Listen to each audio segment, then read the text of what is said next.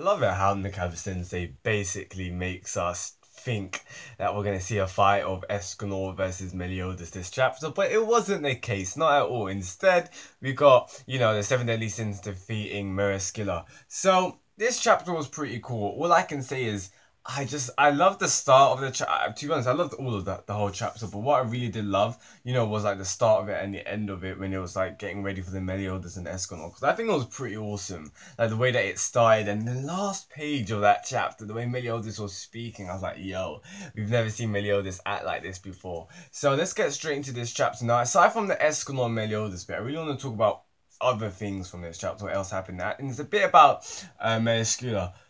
I, to be honest. I really have no idea how to pronounce her name, but I really don't care. Either way, she's really down. Now, my I'm a little bit intrigued about her character and intrigued in the sense I really don't know what to think about her because she's not like the other Ten Commandments where oh like I love them they're so awesome like it's not like that because to be honest I really I, I I'm not a fan of her character arc I really wasn't and I think that also accounts to the fact that I'm not really a fan of her character as well she just I don't know she just kind of seems a bit too cocky and and prideful, but not in the good way like Escanor, if you know what I mean.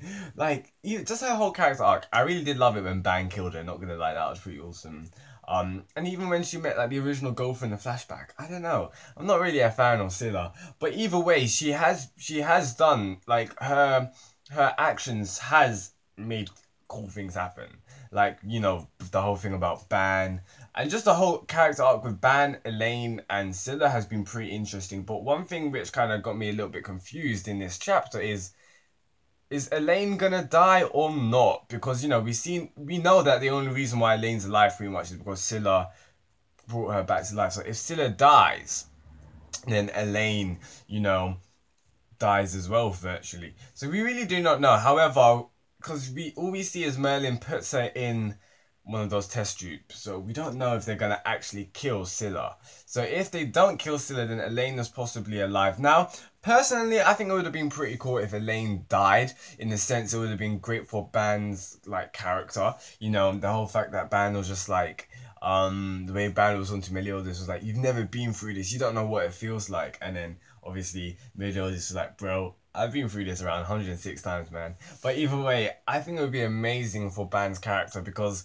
I'm not gonna lie, he's really lacking in each department in the Seven Deadly Sins in power and character in comparison to all the others. We see we've seen so many power ups recently, and at the end of the day, it's not always about power. It's not always about strength because even throughout the series, Ban hasn't been the strongest, but you know his abilities, he's been able to make up for it in other ways. For example, Fox Hunt or what? What's his other one? Oh, I can't remember, but you know his ability, his abilities that makes him able to steal the power, steal other people's powers and their strength. Like he was fighting Galen, he was fighting Scylla, he was fighting these guys easily. So you know, Ban's abilities has been able to make it up for his strength. And at the end of the day, he is just a normal human. Like he's not like Escanor, he is not like anyone else. So he's just a typical human that cannot die. So we do we yeah we kind of do need a power up from Ban, and I think that's only gonna come across gonna happen probably with his sacred treasure. I don't think we've had it yet. He hasn't got it yet, so Nakaba Sensei, please bring that. I hope we do get um Ban sacred treasure. That would be pretty awesome to see as well. And the whole fact that even in this chapter, the way that he just got defeated by Scylla. I'm a guy who loves Ban. Like Ban's my favorite character, so I'm not gonna lie. I'm feeling a little bit hurt seeing him getting treated like this. He is really getting the short end of the stick. Not gonna lie, because he hasn't had a win for some time, and emotionally as well, to be honest. Like the whole thing that he's been going through with um Elaine as well. So the whole point that Elaine is gonna stay alive, I'm gonna be intrigued by this. Now, if Elaine stays alive, I really don't want her to be a useless character.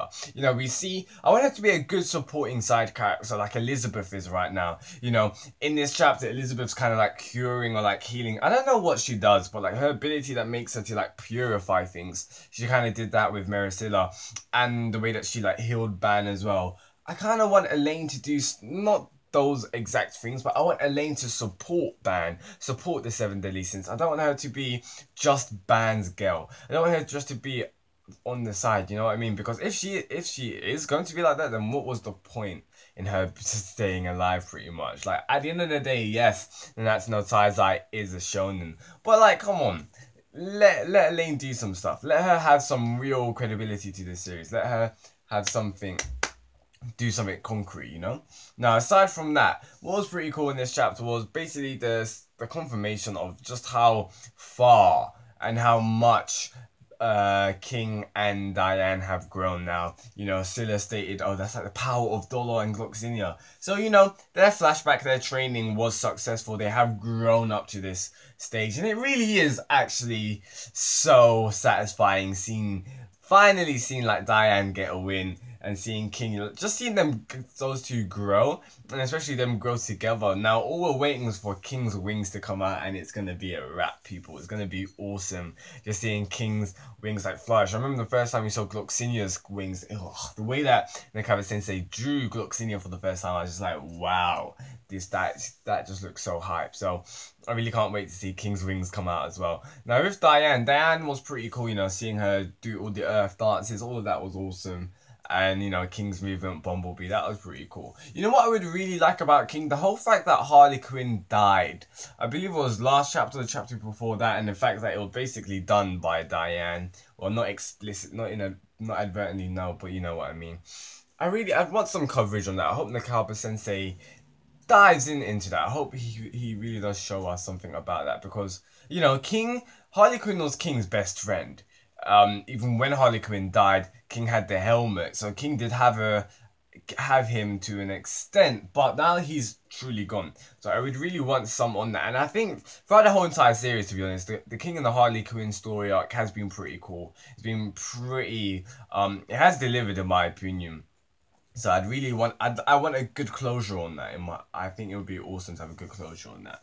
Now to the Escanor Meliodas. Now, next chapter we'll probably get up we'll probably see them fight it's gonna be sick because what gets me so hyped is the fact is the way that Meliodas is acting right now, looking down on people and humans and that, is not prideful. It's just I don't know, like it's it's just so awesome. But the way the thing is which gets me hyped is Escanor's reaction because Escanor's just like how impertinent. And you know that Escanor's just like who the hell do you think you are calling me this? So Escanor's just gonna get so annoyed right now next chapter because he's gonna get even more the pride's just gonna increase like that. And Meliodas' form right now. You see the darkness all over him and his sword. It just looks so beast. This is the Meliodas which the Ten Commandments feared which the goddesses uh, the goddess clan feared as well. So I'm so excited to see it um Interesting. This form was not the form that we saw Meliodas fight against his father, the Demon King, and, you know, the Supreme Goddess. So, yeah, is this going to be... Is he even to be stronger than that? I don't know. Either way, we found out that this is his assault mode. Uh, so, you know, all emotions, all feelings are gone. This guy has no biases right now. He's going to go straight in.